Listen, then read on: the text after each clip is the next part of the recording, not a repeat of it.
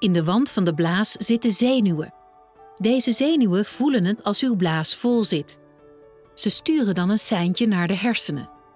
De hersenen laten dan de blaas samentrekken. U voelt dan dat u moet plassen. Als u een overactieve blaas heeft, werken deze zenuwen niet goed. De zenuwen geven door dat uw blaas vol zit, terwijl dat niet zo is. U heeft daarom vaak het gevoel dat u moet plassen. Uw blaas gaat samentrekken nog voordat u het toilet bereikt. Soms heeft u hierbij last van urineverlies en het kan pijnlijk zijn.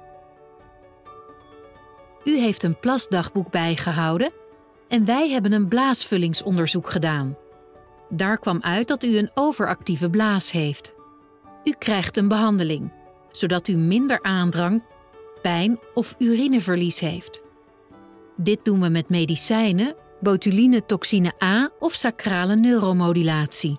De botulinetoxine A-behandeling gebeurt op de polykliniek en is ongeveer 30 minuten. U krijgt een verdoving in de blaas.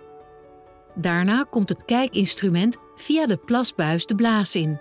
Met een dunne naald spuit uw behandelaar op 10 plekken botulinetoxine A onder het blaaslijmvlies. Hierna gaat u plassen. Soms zit hier wat bloed bij. Daarna mag u naar huis. Neem contact op als u koorts heeft, bloed verliest, pijn heeft of niet meer kunt plassen. Binnen twee weken merkt u het effect.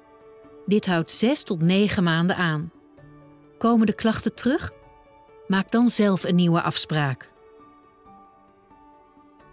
Sacrale neuromodulatie is elektrische stimulatie van de zenuwen die naar de blaas- en bekkenbodem lopen. Dit moet de overspannen blaas rustig maken. U start met een proefperiode om te testen of deze behandeling bij u werkt. Deze proefplaatsing doen we op de polykliniek of op de operatiekamer. In deze proefperiode houdt u thuis zelf een plasdagboek bij. Werkt de therapie? Dan krijgt u het definitieve implantaat. Dit doen we op de operatiekamer. Het implantaat wordt onderhuids aangebracht.